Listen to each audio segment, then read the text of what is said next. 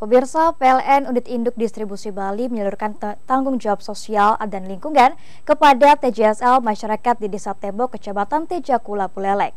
Total bantuan yang diberikan melalui PLN Peduli ini mencapai 160 juta rupiah untuk meningkatkan perekonomian warga di sektor pertanian dan pelestarian lingkungan. Bertempat di Desa Tembok, Kecamatan Tejakula Buleleng, PLN Unit Induk Distribusi Bali melalui PLN Peduli menyalurkan bantuan tanggung jawab sosial dan lingkungan atau TJSL. Penyaluran bantuan diberikan kepada kelompok tani dan pengolahan bank sampah di wilayah Tejakula. Untuk kelompok petani muda keren Desa Tembok, PLN memberi bantuan sebesar 30 juta rupiah yang digunakan untuk pembibitan sayur. Bantuan sebesar 80 juta rupiah juga diberikan kepada kelompok tani Pulasari untuk membeli mesin listrik pengolahan gabah.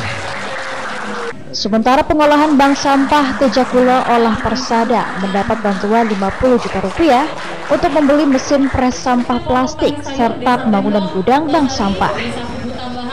Menurut General Manager PLN UID Bali, Iwayan Udayana, bantuan ini diberikan agar kegiatan ini dapat berkelanjutan sehingga memberi dampak perekonomian untuk masyarakat.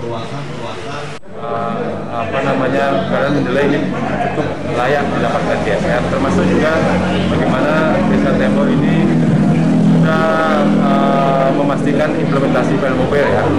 Itu juga bentuk kerjasama yang bagus dengan PLN menguntungkan gitu ya pelanggan muda PLN pun bisa mendapat komunikasi yang baik dengan pelanggan di acara peresmian Semeton uh, PLN Mobile uh, berharap bisa kita konsiderasi lebih lanjut bisa dibangun kolaborasi yang lebih banyak lagi dengan PLN uh, khususnya untuk meningkatkan aksesibilitas masyarakat terhadap listrik karena itu masih ada beberapa warga yang dulu uh, memiliki akses listrik yang terkendala oleh perbuasan uh, jaringan yang yang belum mengupayakan dengan PLN di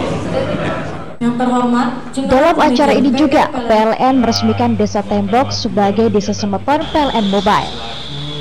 Desa Tembok merupakan desa pertama di wilayah kerja Unit Layanan Pelanggan atau LP Tejacula sebagai desa 100% PLN Mobile dengan jumlah 1.461 pengguna. Sementara di Bali, Desa Tembok menjadi desa kelima yang diresmikan untuk Desa Semeton PLN Mobile. Dari Buleleng, Pandi Wismaya, melaporkan.